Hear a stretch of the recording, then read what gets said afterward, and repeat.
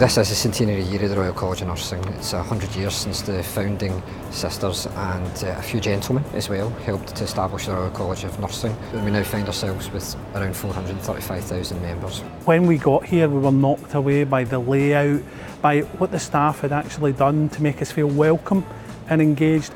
The members so far in their feedback absolutely loved the venue, absolutely loved Glasgow. Everything was very slick. From the small things like coffee to the big things like the air conditioning, getting the temperature in a massive hall with 2,000 delegates in it just right.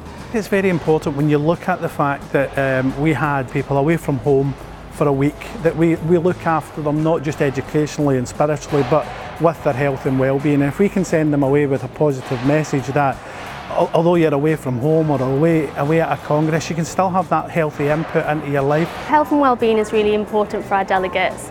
Um, it's a long week, it's quite stressful and it's a chance for them to get a break and to think about themselves. So in the morning we've got yoga sessions, we've got breathing techniques, we've got meditation and so that just gives the delegates the best start to their day. Um, one thing we've done this year is to have a centenary theme um, colouring in session where people can just go and relax. It's, it's about mindfulness and I've taken a break throughout Congress. Um, we've also had the Health Hub where we've had massages such as the shiatsu and also Bowen therapy um, and this is just a, another chance for delegates to really take some time out.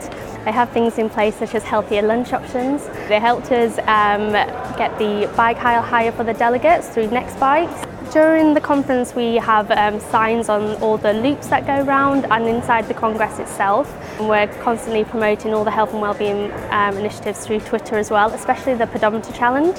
People don't have to walk the thousands of steps, but if the first step to a healthy lifestyle is making the contemplation that you need to make the change. And Congress is a good place for that when they see people thinking about making change and then actually making the change. If we can just do our little bit to inspire people to get a wee bit more active, to get a wee bit more exercise into them, even if it is just walking from hotel to the venue or the provision of a bike while we're here or 20 minutes yoga during the day, it all adds up.